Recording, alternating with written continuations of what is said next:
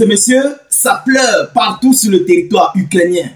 Volodymyr Zelensky ne cesse pas de pleurer parce que ce qui vient d'arriver sur son territoire, ce qui vient de débarquer sur le territoire ukrainien, mesdames, mesdemoiselles et messieurs, c'est très fort. Oui, jusqu'à ce que Volodymyr Zelensky est, sorti, il a exprimé son rare le bol aux yeux du monde, à la communauté nationale et internationale de ce qui vient de se passer sur le territoire ukrainien.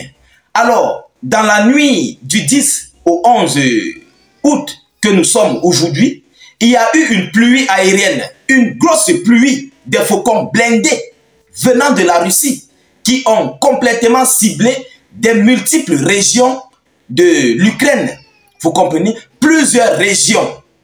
Oui, lorsqu'on parle de régions capitales, même Kiev faisait partie des régions ciblées. Mesdames, Mesdemoiselles et Messieurs, par euh, cette action venant des Russes, toutes les cibles ont été atteintes. Oui, mesdames et messieurs, toutes les cibles ont été atteintes. Mais ce qui s'est passé pendant ces envois de pluies aériennes, ou bien après l'envoi des pluies aériennes, mesdames, mesdemoiselles et messieurs, vous allez comprendre que Vladimir Poutine n'est plus seul dans ce conflit. Non, il n'est plus seul. Vous vous rappelez que la Corée du Nord aidait la Russie avec, euh, voilà, des obus, des petits obusiers, de l'air soviétique, parce qu'il en a en stock.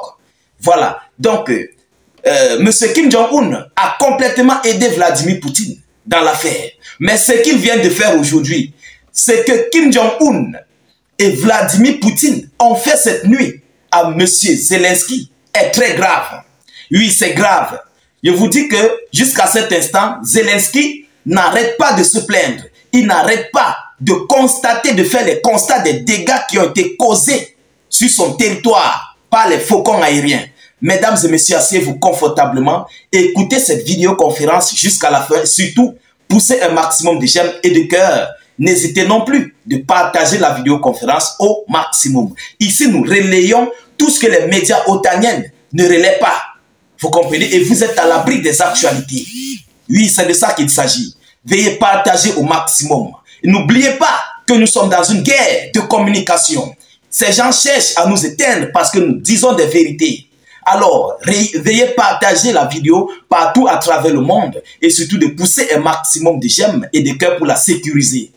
Alors, mesdames, mesdemoiselles et messieurs, les pluies aériennes que vous connaissez tous, lorsqu'il dit pluie, il s'agit de missiles.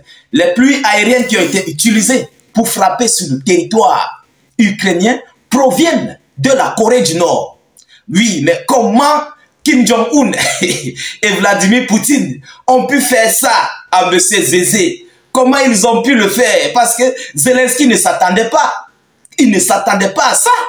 Parce que les systèmes aériens qui sont là-bas sont faits normalement pour les capacités ici à, à détruire des missiles venant de la Russie. Mais comment se fait-il que Zelensky a été surpris des missiles nord-coréennes et les systèmes patriotes qui sont là-bas n'ont pas pu tenir le cap. Oui, ils n'ont pas vu ça venir. Et tous les missiles ont atteint leur cible. J'ai dit, tous les missiles ont atteint leur cible, mesdames, mesdemoiselles et messieurs. Alors, concernant ce qui vient de se passer, vous savez, il y a cela quelques jours que l'Ukraine a lancé une offensive sur le territoire russe. Et qui sont même d'ailleurs en train d'être repoussés. Je vais vous donner dans une autre vidéoconférence l'information officielle du jour, l'information de 16 heures. Vous comprenez? Donc je vais faire une vidéoconférence là-dessus. Mais ce qui s'est passé aujourd'hui sur l'Ukraine, chères dames, chers messieurs, chères demoiselles, et de l'autre côté de la Corée du Nord, M. Kim Jong-un est assis au calamar. Oui, il est assis au calamar. Alors, parmi les, les cibles détruites, il y a ici des aérodromes des aérodromes qui doivent faire décoller des F-16, ces F-16 qu'on a fournis à l'Ukraine. Ils ont été des premières cibles. Oui, des systèmes radars et tout ce qui va avec concernant le domaine militaire. En fait, ça consistait généralement, cette attaque consistait généralement à détruire plus que jamais les infrastructures des aéroports et des pistes d'atterrissage et tout et tout et tout concernant voilà le domaine aéro, aéro, aéroport ou bien quoi que ce soit. Vous comprenez? Là où les avions vont décoller. Mais non seulement ça, les niveaux les zones de stockage d'armes, de munitions, les zones de regroupement des militaires. C'est ça aussi qui a été ciblé.